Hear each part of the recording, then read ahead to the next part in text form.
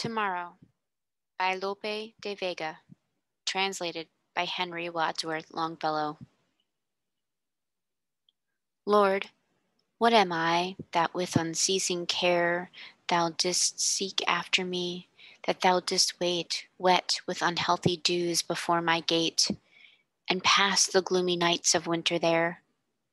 O strange delusion that I did not greet thy blessed approach and oh, to heaven, how lost if my ingratitude's unkindly frost has chilled the bleeding of wounds upon thy feet.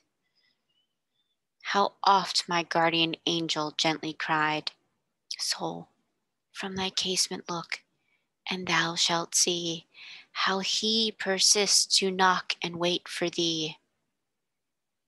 And oh, how often to that voice of sorrow, Tomorrow we will open I replied. And when the morrow came, I answered still, Tomorrow.